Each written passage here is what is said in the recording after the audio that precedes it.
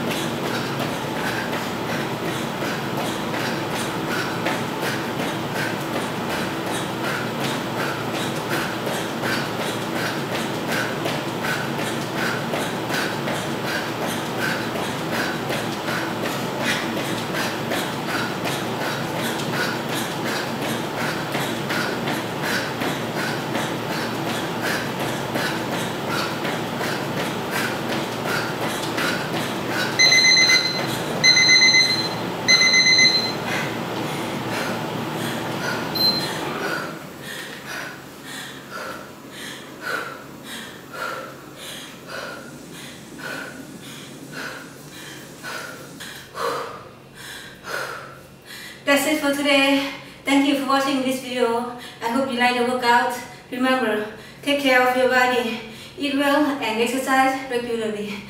Bye.